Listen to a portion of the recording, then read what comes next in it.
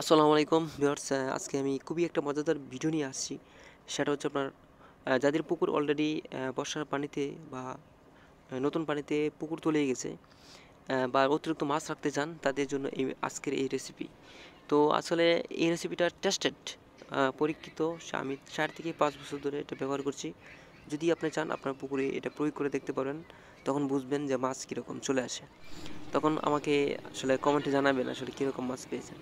তো বিয়ার্স কথা না বাড়িয়ে আজকে চলুন শুরু করা যাক। আজকে যে রেসিপিটা আমি প্রয়োগ করতে যাচ্ছি, সেটা আপনাদেরকে দেখাচ্ছি। ব্যবহার করছি, সেটা হচ্ছে এক বিঘা পুকুরের জন্য। বিয়ার্স যে উপকরণগুলি লাগবে, তা আমি দেখাচ্ছি।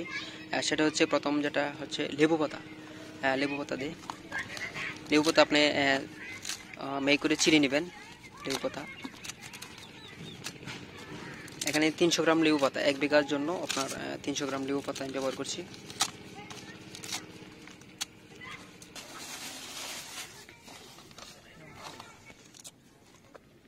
তারপরে যেটা দিবেন, রসুন দিবেন, আপনার এক বিঘার জন্য একশো গ্রাম রসুন দিবেন। এই হচ্ছে রসুন। তো দেখুন, রসুনটা হালকা আপনার গুঁড়া করে নেবেন, হালকা গুঁড়া করে নেবেন রসুন। ব্লেন্ডার দিয়ে বা হাতে যে কোনো মূল্যে আপনি এটাকে গুঁড়া করে নেবেন।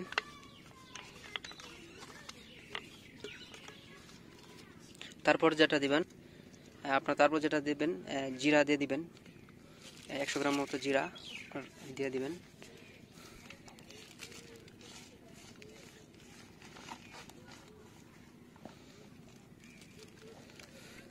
তারপরে আরেকটা উপকরণ হচ্ছে আপনার যেটা ফিশমিল আপনার শুটকি গুঁড়া। শুটকির গুঁড়া, এই হচ্ছে শুটকির গুঁড়া।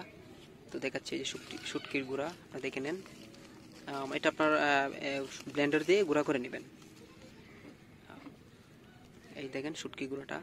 আপনার যে শুটকি গুঁড়াটা আপনার যে বাজারে বিভিন্ন ধরনের মিক্সকার যে শুটকিগুলা পাবেন, সেটা আপনার দিয়ে দিবেন। শুটকি গুঁড়া, শুটকি গুঁড়োটা আপনার দিবেন তিনশো গ্রাম। শুটকি গুঁড়া আমি তিনশো গ্রাম ব্যবহার করছি এক বিঘার জন্য। এখানে আপনি একাঙ্গি আর মেথি, সেটা আপনার গুঁড়া করে নেবেন একাঙ্গিটা।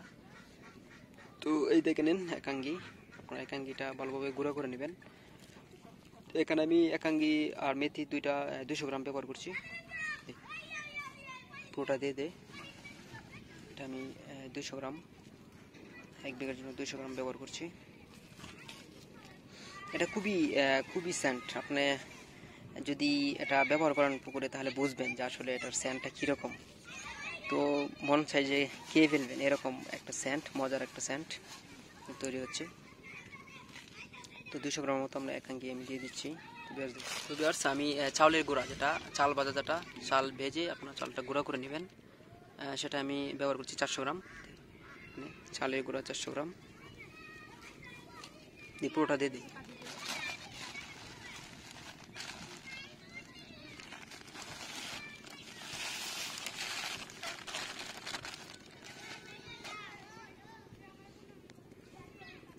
এটা আপনার ভালোভাবে মিক্সড করবেন ভালোভাবে এটা মিশিয়ে নেবেন।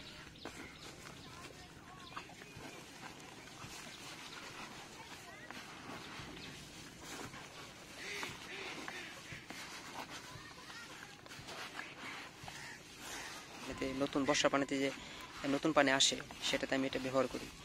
আমি এটা পরবর্তীতে আমি দেখাবো এটা আসলে কীরকম যে আপনার মাছ পাওয়া যায় সেটাতে। তো বিয়ার্স দেখতেই থাকুন পুরো প্রচেষ্টা তো বিয়াস আরেকটা যে উপকরণ, সেটা হচ্ছে আপনার সরিষার কোয়েল যেটা, সেটা আমি ব্যবহার করছি সাত কেজি। তো এক বিঘার জন্য আমি সাত কেজি কোয়েল ব্যবহার করছি। এই দেখেন, বাজারে বিভিন্ন ধরনের কোয়েল পাবেন। তো শুকনাটা নিয়ে আসবেন, শুকনাটা, বীজাটা। শুকনাটা সবচেয়ে ভালো। এই দেখেন কোয়েল।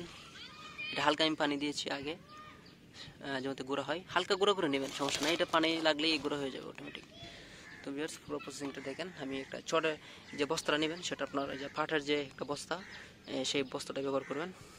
সেটা অবশ্যই মানে সেটা খুব ভালো হয়, সেটা ব্যবহার করলে।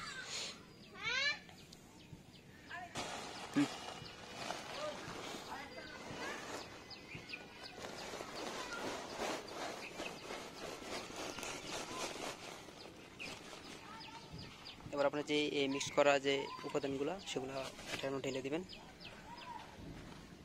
পুরোটা। পুরোটা ঢেলে দিয়ে এটা আপনার মিশিয়ে নেবেন। मिशन है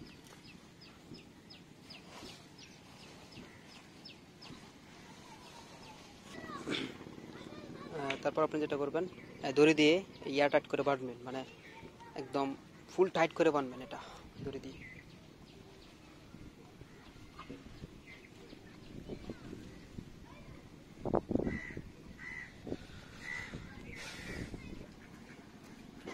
মারো মুখে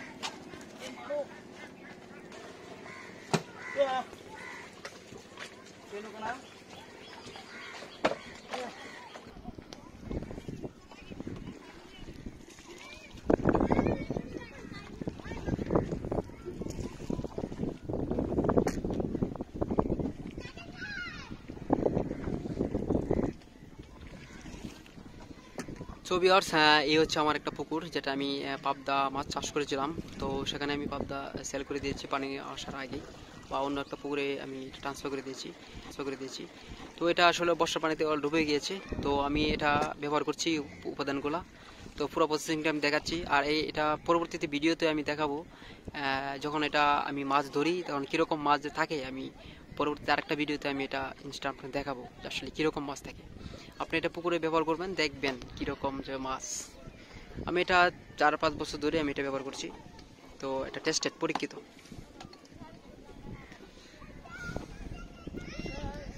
এটা আমার এক বিঘা একটা পুকুর এখানে।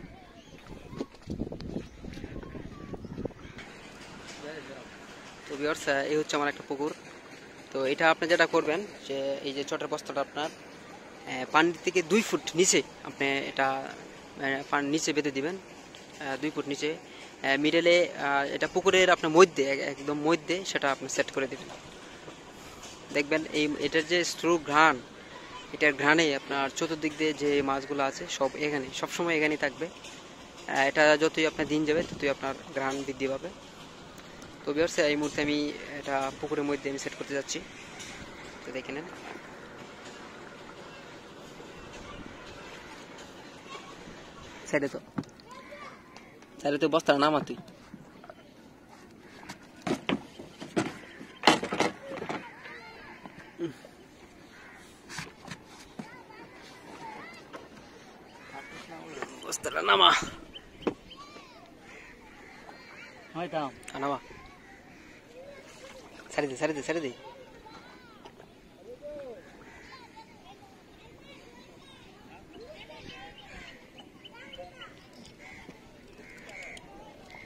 god.